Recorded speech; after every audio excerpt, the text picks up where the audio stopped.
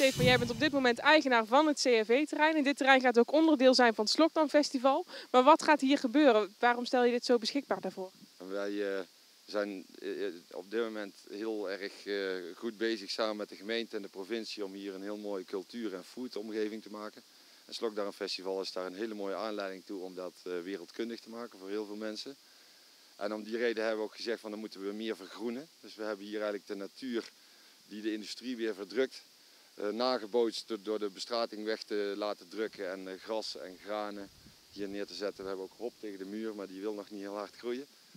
Maar dat komt ook nog wel helemaal goed. Uh, voor het begin van het Slokdarmfestival moet hier een mooi grasmaatje liggen. Met allemaal verschillende soorten granen. En wat moet er eigenlijk nou nog allemaal gebeuren voordat het Slokdarmfestival hier plaats kan vinden? Nou, waar wij aan het doen zijn is een aantal plekken die nog niet helemaal veilig zijn. Om die zo goed mogelijk veilig te maken en ook voor te bereiden op hetgeen wat er in de toekomst gaat komen. Dus we willen hier het jongerencentrum al een plek geven.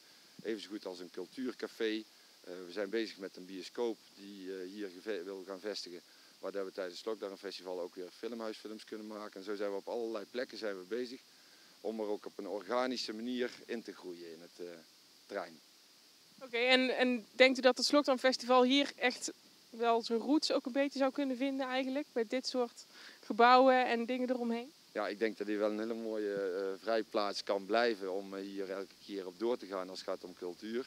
En zeker ook voor het Slokdarmfestival. Maar het Slokdarmfestival heeft ook een oorsprong in uh, het Juliana Park. En dat is gewoon een hele erg mooie locatie. Dus waar we dit jaar ook gaan proberen te versterken om die verbinding tussen Juliana Park en, en de Noordkade om die sterker te maken. En daar het Slokdarmfestival ook, dus ook steeds groter van te laten worden. Oké, bedankt. We zullen zien tijdens het festival hoe, het, hoe mooi het hier is geworden. Heel goed.